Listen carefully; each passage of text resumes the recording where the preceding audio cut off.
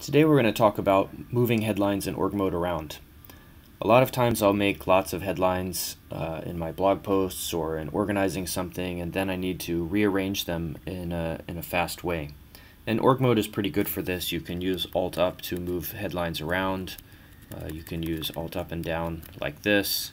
Uh, but a lot of times if I have to move it a long distance I find myself collapsing it, killing it, moving somewhere, and pasting it back.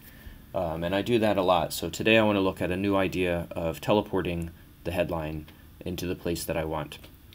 So I got this idea from Lispy where you can put your cursor at the beginning of a, a Lisp expression and press T and then it gives you an Ivy-like completion for where to teleport that headline to.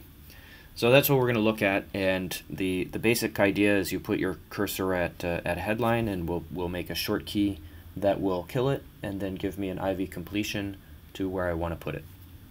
So let's look at the code uh, to do that. It's pretty pretty straightforward.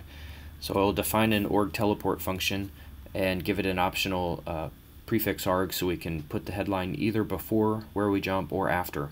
The default will be after. And the idea will be we mark the subtree, kill it, and then this single line will give me a very brief uh, set of bindings to jump to a particular headline. And if we're before, we just yank it. And if we're after, then we mark the current subtree so we have an easy way to get to the end. Uh, check that we're not at the end of a buffer. And then we paste it again, and then I like it to be hidden. So that's the function, and we'll just add a few uh, speed keys for org mode now. So I'm going to add three here. The first one is M to mark the subtree. The second one is to kill the subtree, and the third one will be to, uh, to teleport it. So let me just run these, and, uh, and then we'll go through uh, what each one does. So back up here, if I'm at the beginning of a, of a subtree, I can press M now, and it marks the whole subtree.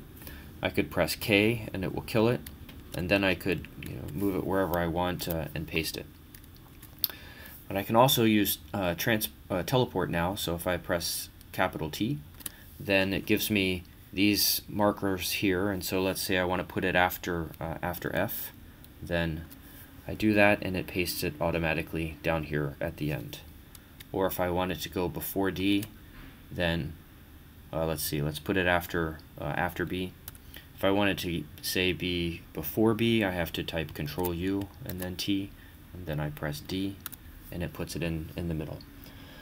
So it takes a little uh, getting used to the, the whole Ivy way of doing things, but it allows me to uh, transport headlines uh, kind of all over the place. And interestingly, if you have a really big um, org file and you want to move something at the end to something at the beginning, a limitation of Ivy is it only shows you what's visible. But if I look at uh, this here, now when I press T, I get candidates in both windows. So if this was at the end of the file, I would be able to pick something at the end of the file and move it to the beginning of the file or vice versa.